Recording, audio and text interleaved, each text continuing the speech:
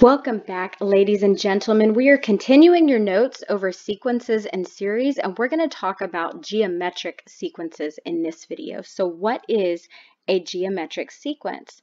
It is a sequence in which each term is found by multiplying whoops, the previous term by the same value.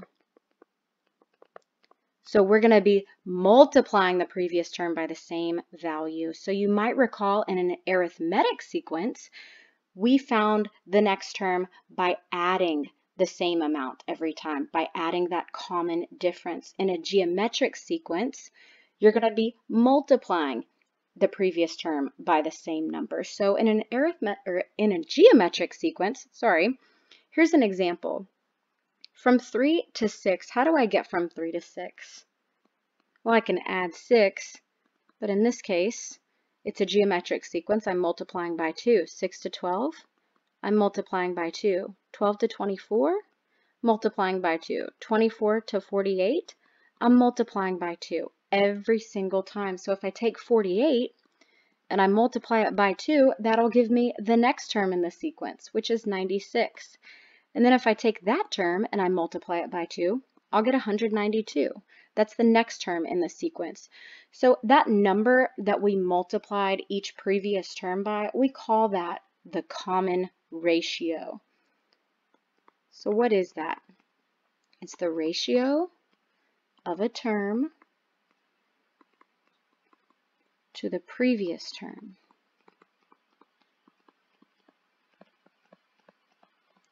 And it's found by taking any term in the sequence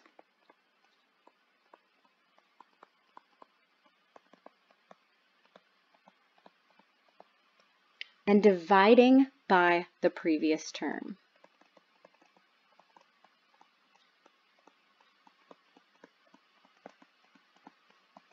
So the common ratio the ratio of a term to the previous term, and it's found by taking any term in a sequence and dividing by the previous term. So how do we find our common ratio? Well, if this is the first term in the sequence and this is the second term in the sequence, I can take that second term and I can divide it by the first term, and that's 3. Or, for example, the fourth term in the sequence is 27. The third term is 9. I could take 27 and divide it by 9, and I still get that common ratio, which means each term is multiplied by 3 to get the next term.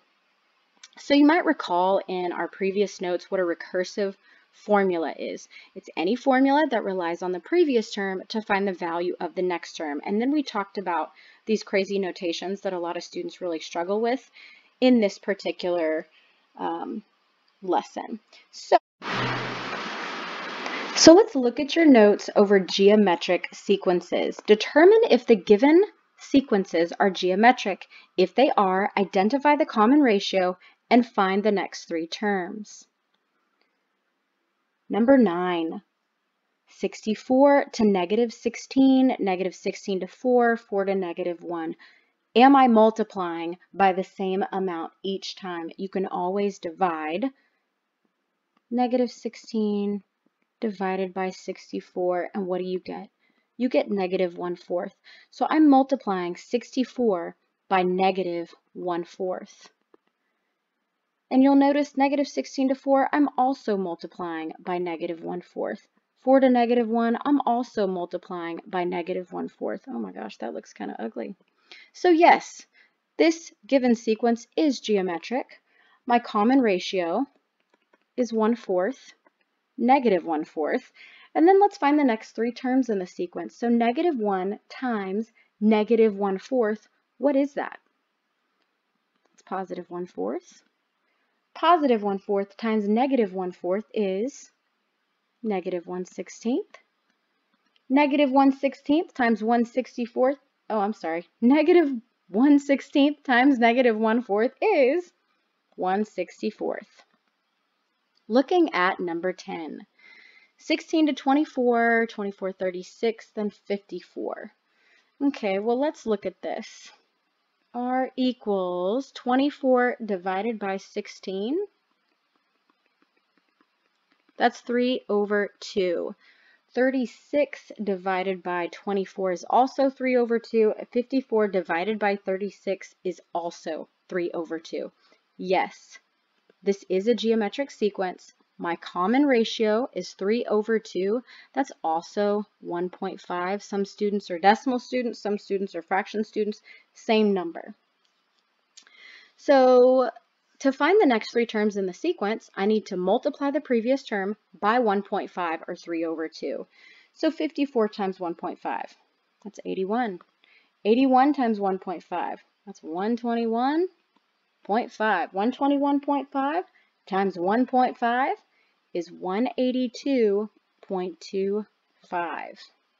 Let's move on to number 11. 1, 4, 16, and 64. I want you to pause the video and see if you can find your common ratio. So could you find your common ratio? What are you multiplying each previous term by to get the next term? By 4.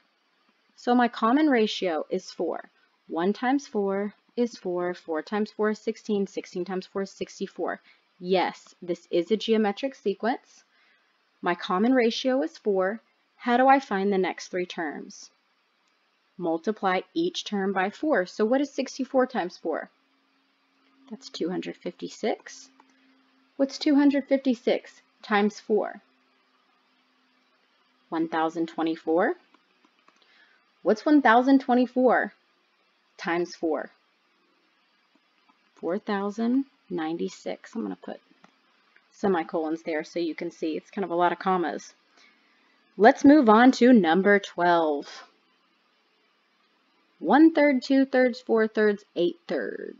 Okay, well, you can always find your common ratio by taking each term or, and dividing it by the previous term. So two thirds divided by one third, you can always plug it into your calculator, but remember, keep, change, flip, two thirds times three over one, well, that's just two okay? So, and actually if you do that with every single term, you'll find that yes, this is a geometric sequence and my common ratio is 2 between every single one of them. So how do I find the next three terms in the sequence? Well, what's 8 thirds times 2? 16 thirds. What's 16 thirds times 2? It's 32 thirds.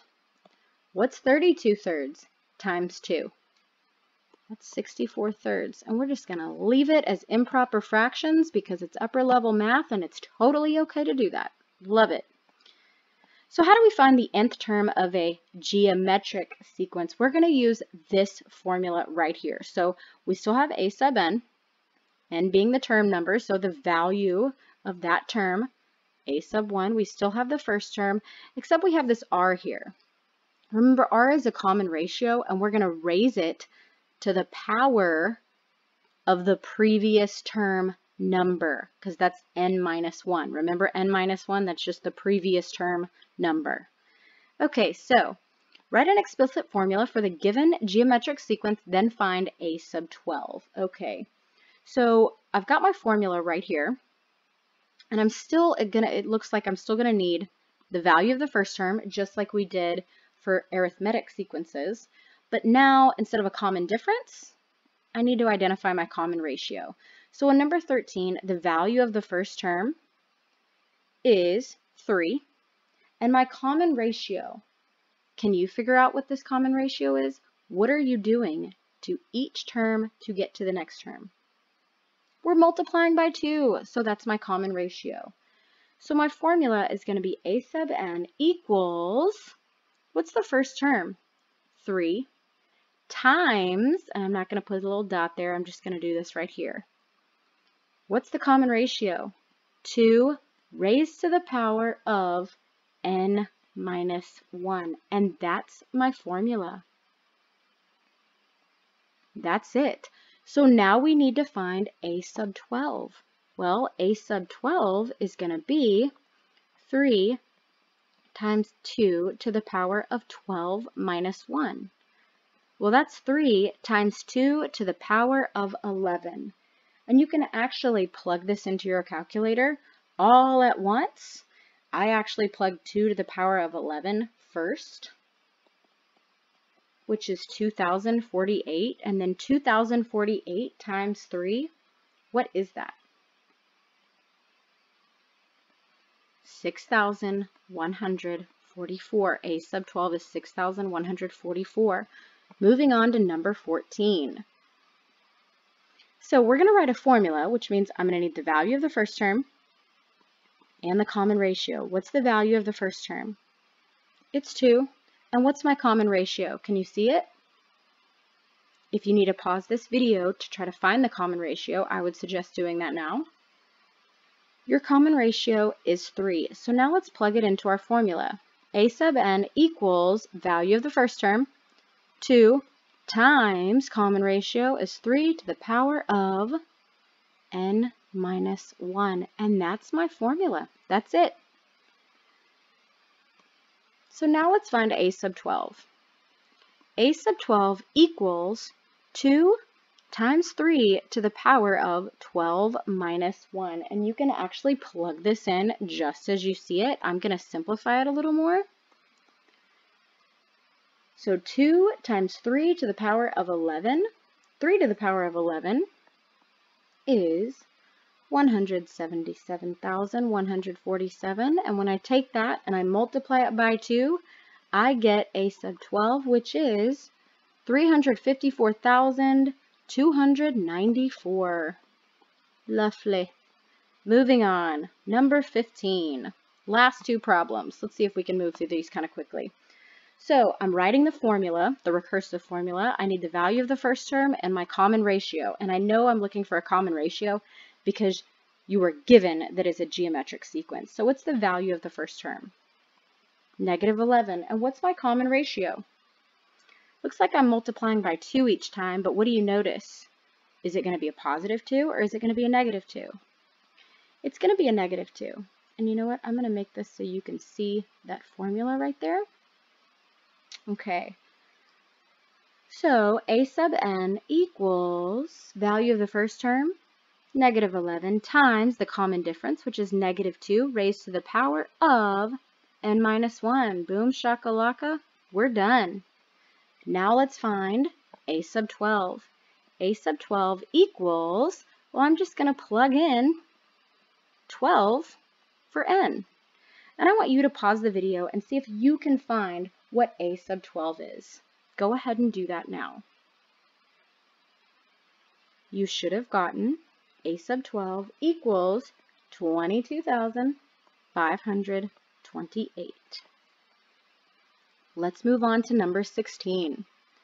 Number 16, I'm writing a recursive formula. I need the value of the first term and I need the common ratio. First term is 1. What's that common ratio? What am I multiplying each previous term by to get the next term? Negative 3. If it doesn't just jump out at you, you can always do your division. Just make sure you do it for every single term. So let's write our formula. A sub n equals the value of the first term, which is 1, times my common ratio, which is negative 3, to the power of n minus 1. There's my formula, and if you want to pause the video and go ahead and solve for a sub 12, I would suggest doing that now. 1 times negative 3 to the power of 12 minus 1. So go ahead and pause the video and see if you can find what a sub 12 is. You should have gotten that a sub 12 is negative 177,147. And that concludes your notes over geometric sequences.